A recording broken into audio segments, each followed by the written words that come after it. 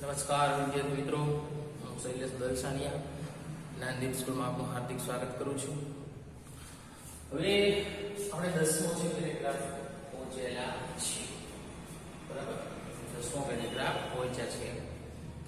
અને આ last paragraph okay એટલે કે સિન્થેસિસ નો લાસ્ટ પેરેગ્રાફ. પછી તમને અમુક હોમવર્કમાં માટે આપવામાં આવશે.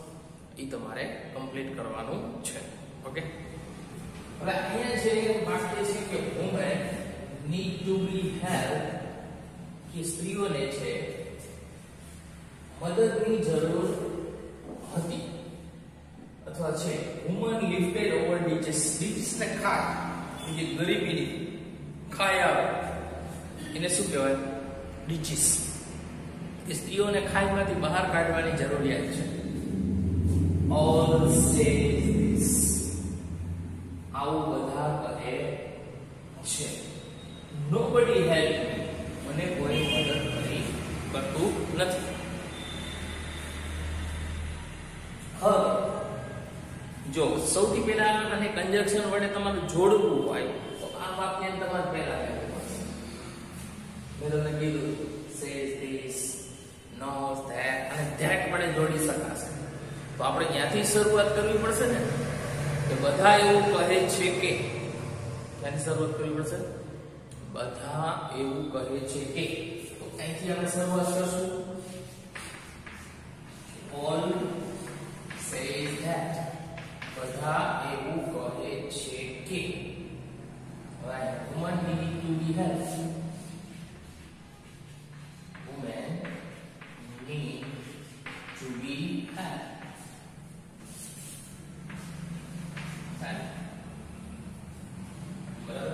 કે સ્ત્રીઓને મદદની જરૂર છે એન્ડ એન્ડ વડે જોડે and lifted over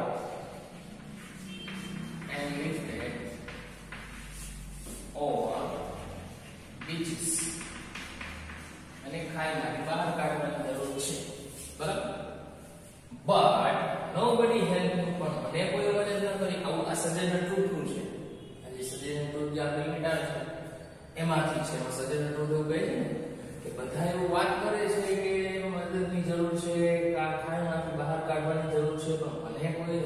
કરી નથી. તો એ શું હશે? But but nobody help me મને કોઈ મદદ કરી નહોતી તો આ રીતે. આજે આમાં કોઈ હોમવર્ક નથી આ યુનિટમાં પણ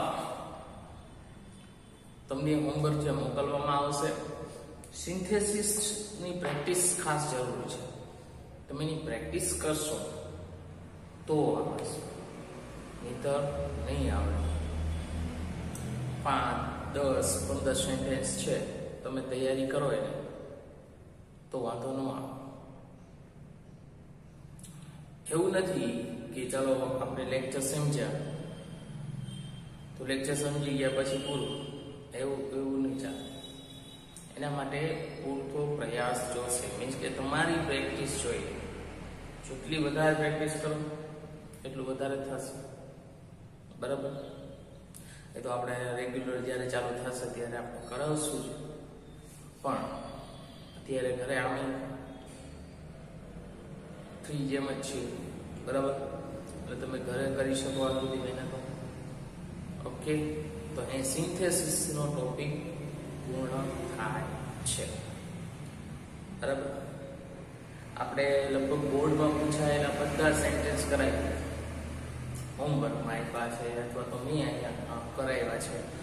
જેટલા બોર્ડમાં પૂછાયેલા છે, એ બધા સેન્ટેન્સ આપણે કરાય. અને એના જેવું જ પૂછાય છે. એનાથી વાત પૂછાતું નથી. એટલે ખાસ ધ્યાન રાખજો, જેટલા કન્જેક્શન કરાવ્યા એ બધા વ્યવસ્થિત રીતે કરવાના છે. ઘણી વખત એવું થાય કંજક્શન આવડે છતાં પણ નથી આવડતું તો એના પાછળનું રીઝન એક તમને પેરેગ્રાફ છે, પેલા જો એનું ગુજરાતી કરો. ગુજરાતી કર્યા પછી છે, એને સમજો કે આમાં કયું કન્જક્શન જોડી શકાય, એ પ્રમાણે તમારે એમાં કન્જક્શન જોડવાનું. એનું સ્ટેપ જ છે. જો સૌથી પહેલી વસ્તુ કોઈ પેરેગ્રાફ આપેલો છે, તો માની લો ચાર સેન્ટેન્સ છે. એક, બે, ત્રણ, ચાર. આ રીતે મૂકવાનું થાય ત્રણ કન્ડક્શન મૂકવા થાય આપણે વિચાર. ઘણી વખત એવું થાય તો આમાં કેમ પેલું આ હોલ્સ સેઝ ધીસ વાળો વાક્ય પ્રથમ આવ્યું ગેટ વડે જોડાતું ખાસ ધ્યાન રાખવું ગેટ વડે જોડાતું હોય તો ખાસ ધ્યાન રાખવું. કારણ કે ગેટ વડે જોડવામાં છે, કદાચ વાક્યને આગળ પાછળ કરવા પડે. એટલે એ એક ખાસ ધ્યાન રાખજો. બરાબર? હવે ચાર સેન્ટેન્સ છે. આપણે વિચારીએ આ ત્રણ કન્જક્શન બે વાક્યનો સંબંધ તો ખબર હોવી જોઈએ અથવા આ બે વાક્યનો સંબંધ ખબર હોવી જોઈએ. આ બે વાક્યનો સંબંધ ખબર હોવી જોઈએ. બરાબર? તો અહીંયા વચ્ચે મૂકી શકાય ને? નહીં તો ન મૂકી શકાય ને? ટૂંકમાં સંબંધ ખબર હોવી જોઈએ. બરાબર? સંબંધ ખબર હોવી જોઈએ. તો મૂકી શકાય. ઓકે? સુધી રાખીએ છીએ. સિન્થેસિસ ટોપિક પૂરો કરીએ છીએ. નેક્સ્ટ લેક્ચરથી નેક્સ્ટ પેરેગ્રાફ અથવા નેક્સ્ટ ટોપિક આપણે સમજવાના છીએ. બરાબર? ત્યાં સુધી